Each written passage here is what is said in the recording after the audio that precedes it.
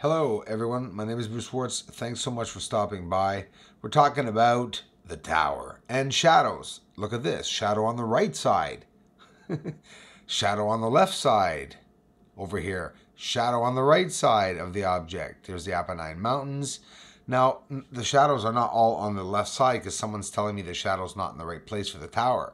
The shower, the shadow could be hidden on top also of this tower in a line with the tower. So we're not going to get into the shadows, that's for sure.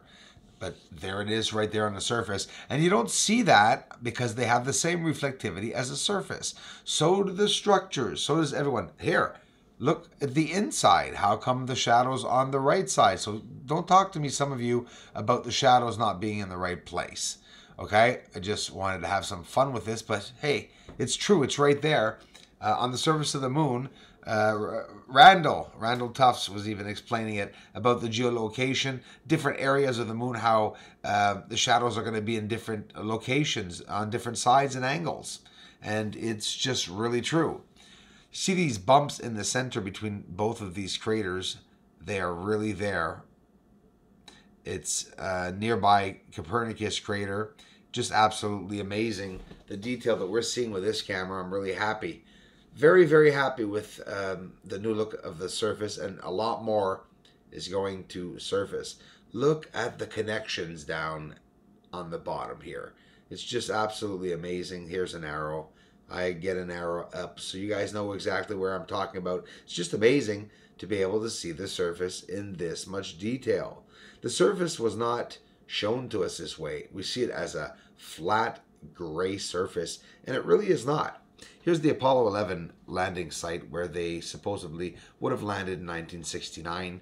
Uh, we see a, a, beautiful surface and we see a lot of the detail on the surface, enough for us to know and compare, uh, you know, what they said was down there and what we are seeing. I mean, we're seeing the surface clear enough and we'll, we'll only see it a lot clearer since we have this D850, you know, camera.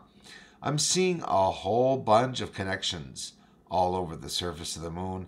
It's so, so obvious. And uh, wow, look at that down there. That's just amazing seeing the, the detail on the surface that we were not seeing before with uh, the D3400. So we're going to go see some spectacular close-ups of the surface, guys. Some close-ups of Copernicus crater. Here's Eratosthenes over there where the towering object is right over there. Uh, I've seen it lying down before. You see three bumps. Uh, I've seen a, a, pyramid in the center before. The understand uh, some of you that there are different wavelengths that our eyes cannot see. Different monitors are going to give us different views. Also, following that terminator line is that line of day and night it's undescribable. There are, I believe, invisible structures on the surface of the moon that are impossible to see. And when I say invisible, I mean, you know, invisible to the naked eye. And they can only be seen with this terminator line, as you can see here, showing us all the elevation along its edge. I'll get a lot more footage up, guys. Of course, this is footage from January 17th that I got. It was my first try time trying the new camera. Very happy I did before the snowstorm. It's still snowing here. I'll get a view of for you guys up tomorrow morning of the snow here. Um, at least 30 centimeters fell on the ground, and they're announcing more for tomorrow. And I'll be doing more research. I get some music up and uh, another late video up tonight, guys. I'll be doing some more research and some more new experiments with this camera. Thanks for watching, everyone, and thanks for the support.